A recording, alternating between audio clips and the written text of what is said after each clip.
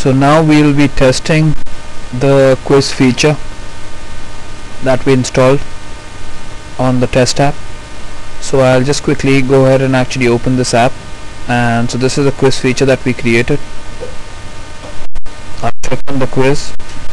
So this is the welcome text that we did not add. So you can actually add a lot more stuff from the edit app settings.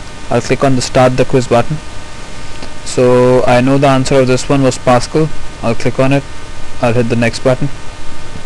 I'll click on CPU and I'll click on finish. So this is what I'll get. These are my results. And this is the time I took and stuff. So this is how primarily the quiz feature would work. If you have any further clarifications or if you require any further help in setting up the quiz feature. You can send us an email at support at or you can also give us a call at 646 688 5525